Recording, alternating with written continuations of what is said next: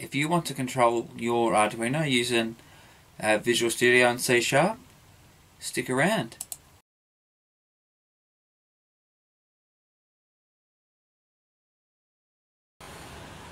Alright, in the cards up above there's a link to a uh, serial communication tutorial video I've done. Now if you go into that video and just cut and paste the code, you'll see it's in one of those comments and then bring that up into uh, your Arduino IDE platform. Just need to add a couple things and you're away. So first thing I want you to add is this pin mode 13 output in your setup and change um, some of these if statements from high and by to on and off. So digital write 13 high and digital write 13 low for off. And um, that'll get your light on and off. And that's all you've got to do for the Arduino um, if you can just cut and paste that code. Alright, so I'll leave you with that. Alright, alright, all you've got to do is upload it. So um, let's upload it. So I'm using an Arduino Uno for this, but um, you can pretty much do anything with uh, pin 13 that's got the LED built in.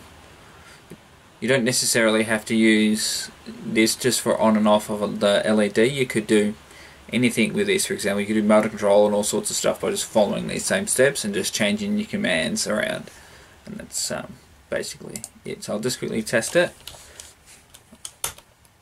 on off and it did work, you just couldn't see it.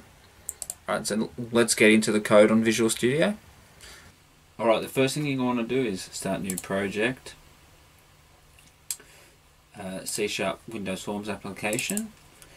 Rename it to something that you'll recognize. So C Sharp 1. Back. Alright, so it's creating the project. The faster your computer are, the faster it will do it. Alright, so let's just start dragging some stuff on. So over on the left hand side you've got a, a, little toolbox. Now this is all the stuff that you can put in there. So let's um, start. I'm going to need a combo box. Bang that one in. You need a button. I need two buttons actually, so we'll put two buttons in. Bang, bang. Just going to make it short and sweet click on one button. Down here you can see on over here you can see where it says text. I'll just change it to on. Alright, so I've labeled the text to on. Let's call the button something else. So down here under design name, let's change it to whatever you want. Look, you can leave it as its default name, so You just got to be um, careful that you know what you're calling it. Alright, so this one will be off button, make that one off. Alright, what shall I call this one? Let me just call this one port box.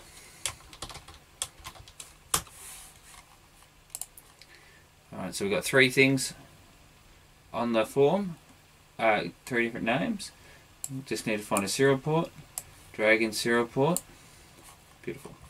So I've got serial port in here and all serial port in here and I've got um, port box on button off button then now you need to just come over here double click on where it, pretty much where it's got form 1 and it writes all this stuff in for you and get you going with your code so you're going to start putting code in here alright so let's get into it right so you've got to write try and that you put some code in here. After this, you're going to need to put in a catch.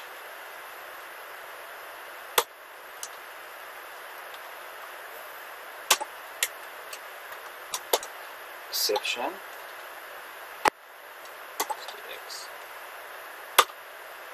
And then do And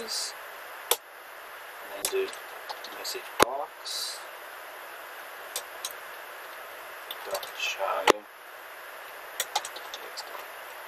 Alright, port box. Dot items. Dot add range. Um, brackets. System. Dot io dot ports dot serial port dot get port names.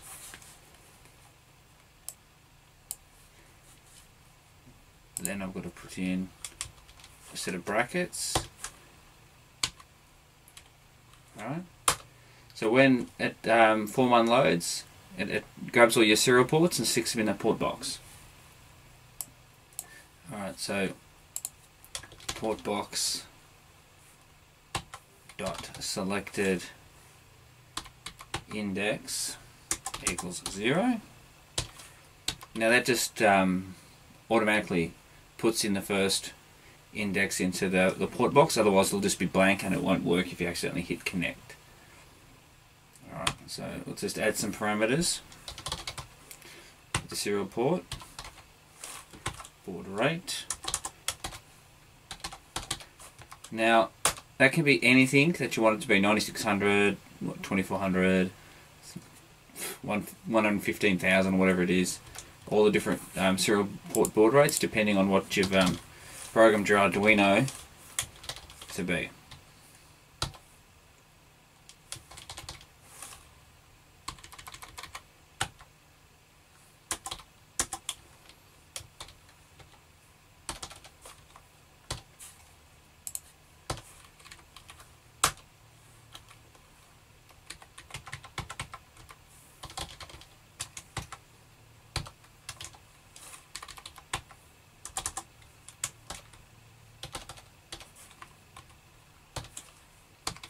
Right, so we've set some defaults.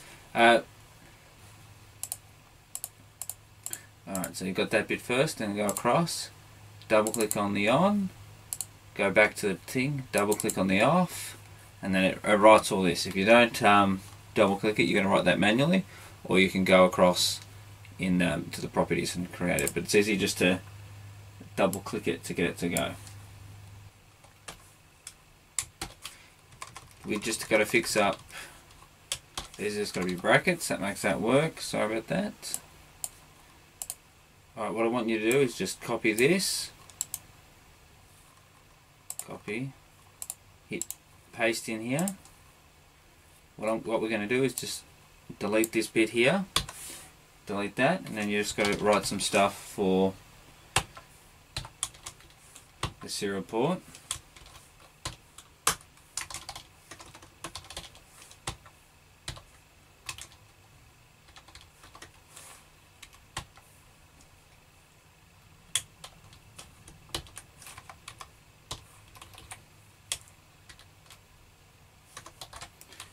So it'll turn it on.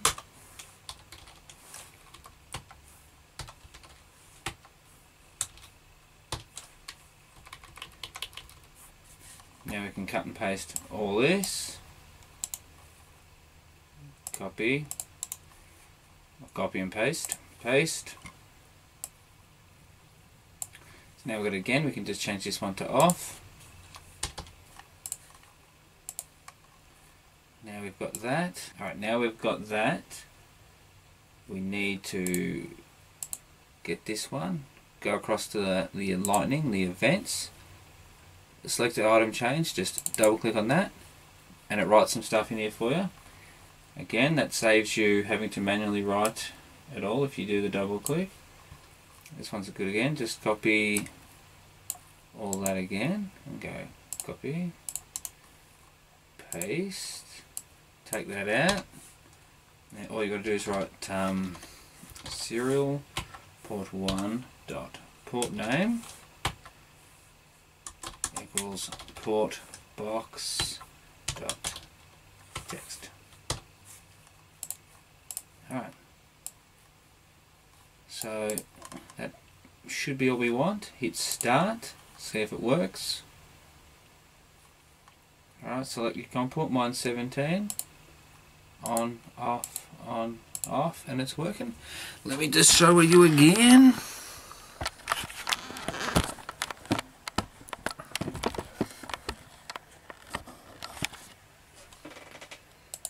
On, off, on, off.